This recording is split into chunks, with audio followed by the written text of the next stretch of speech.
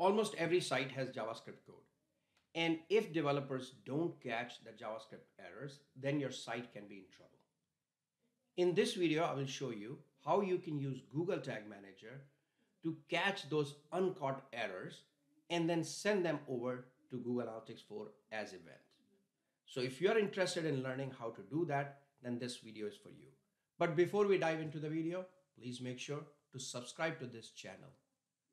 So if you're ready, let's dive in. Google Tag Manager has built-in functionality to capture uncaught JavaScript errors. Once you capture them in Google Tag Manager, then you can send them to any tag that you would like. So let's go to Google Tag Manager and set the required tags and triggers. In Google Tag Manager, first we will need to enable certain built-in variables. These variables capture additional information about the JavaScript errors. So click on variables and click on configure in the built-in variables section. Scroll down and under errors, you'll see certain variables. First is error message. Check this. This variable contains the details about the error. Error URL contains the URL of the page where the error occurred. And error line tells you exactly the line in the code where this error occurred. There is also a debug mode that tells you whether your container is in debug mode or not. You don't need to enable this. Let's just leave these three. Now go ahead and close the configure built-in variables window and now your variables are ready to be used in your tags. Next, we will configure a trigger and then we will create a tag and pass these three variables to GA4. So click on triggers and then click on new.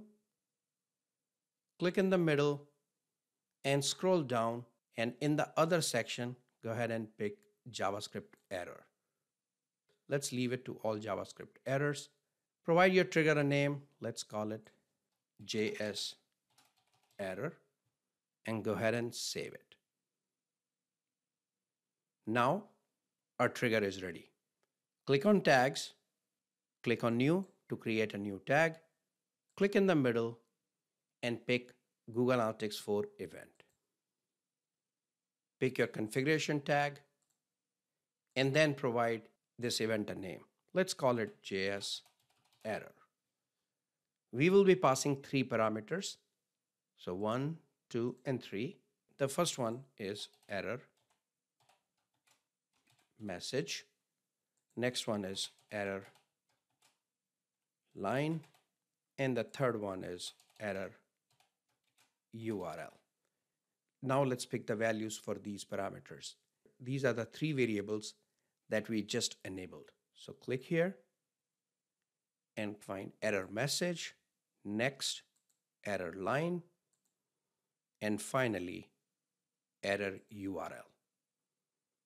Scroll down and click in the middle to attach a trigger. This trigger will be JS error. So anytime a JavaScript error happens, this trigger will fire, which will then fire this tag sending all this information to GA4. Go ahead and provide a name for this tag. I am going to call it JS error event. Once done, go ahead and click on save. Now our tag is ready.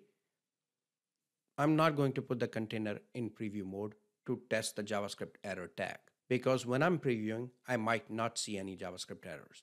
However, there might be JavaScript errors that my users are experiencing.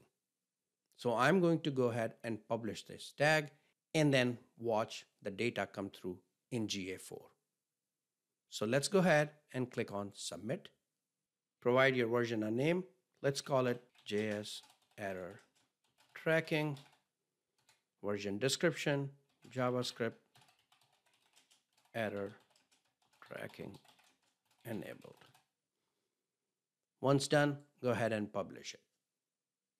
Now everything is published. Now, if there are any errors on the site, then they will start to show up in Google Analytics 4.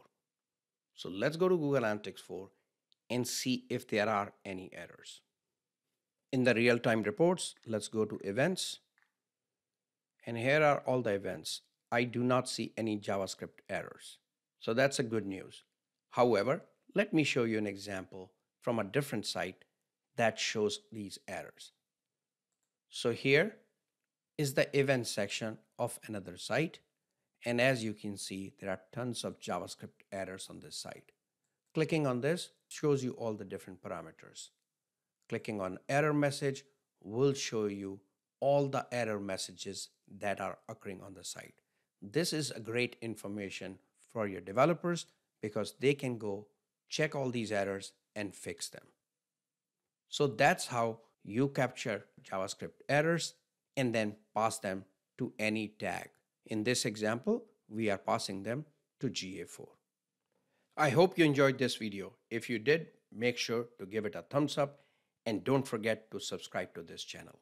If you are interested in learning GA4, then check the description of this video for links to free GA4 resources. I will see you in the next video.